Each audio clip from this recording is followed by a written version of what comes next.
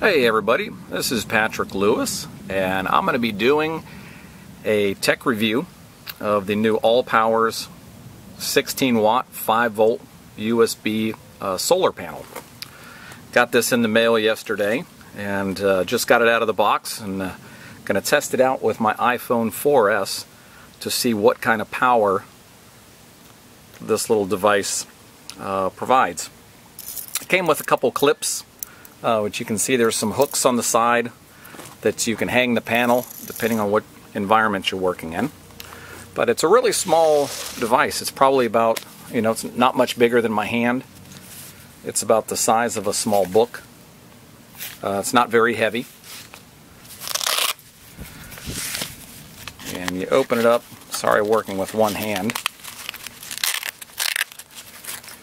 And ho hopefully you can see inside it's got uh, two USB ports and an LED light to indicate whether or not the panel is charging. And I opened this up inside and uh, I did buy it on Amazon, uh, shipped from China. So you'll notice it has anti-crash hardened PET solar panels. Um, kind of assuming they meant it's not going to scratch. But uh, anyways, I thought that was pretty funny.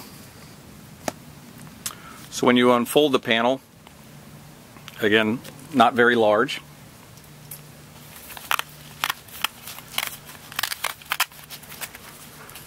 And hopefully you can see uh, right away inside that LED is already lit. So just unfolding the panel, it's already uh, providing power. The device did ship with a uh, with a USB cable, but for the newer iPhone, mine's a 4S. So I'm using my own cable today, and I'm just using standard uh, USB connector. And I'm going to plug it to my iPhone 4S.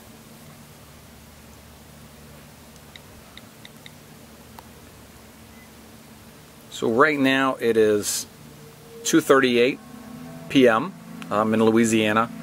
It's a hot sunny day and I've got 76% uh, power.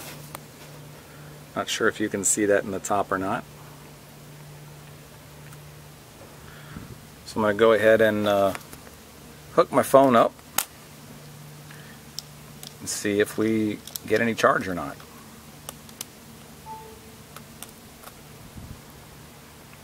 I'm not sure if you could hear that or not, but uh, immediately made the sound that uh, that it is charging.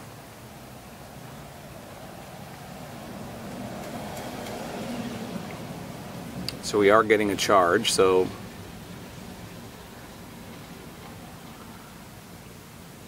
let's go ahead and set that down. And uh, just going to let it charge for a few minutes and we'll be right back and let you know what the result was. We are back folks. Uh, left my phone outside with the Allpower solar panel charging for a few minutes. And just hopefully you can see this once my uh, once it zooms it's kind of bright outside. So we've got um,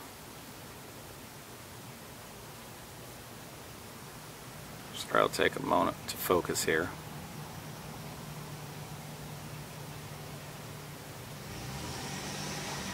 Not sure if you can see that very well or not. Uh, trying to deal with holding video with one hand. But uh, it's now 245 and I've got 80% charge on my iPhone. So it looks like we're getting about 1% roughly every minute. Um, maybe a little bit, just a little bit longer than that. So kind of make the assumption if you had a uh, a dead cell phone, it should take you, you know, somewhere shy of two hours to uh, to fully charge it. So if we're getting uh, one uh, a minute, um, not too bad for uh, for free energy. Again, this is the Allpower um, 16 watt 5 volt USB panel and it does in fact uh, seem to work. I think it'd be pretty handy for uh, for those that wanted to charge their phone or iPad uh, certainly out by the pool or uh, out watching your kids play uh, soccer, football or something like that. Um, I plan on using it for uh, traveling for work and camping. So a lot of times when I'm out hiking around, you want to be able to recharge. I've got an external power pack. Um, I probably recommend if you want to charge other devices like camera batteries and things of that nature, you can uh, trickle charge your external battery pack with the solar panel and then charge other devices uh, through your external battery pack. So this is my tech review of the uh, new Allpower 16 watt 5 volt USB solar panel. Hope you enjoyed it.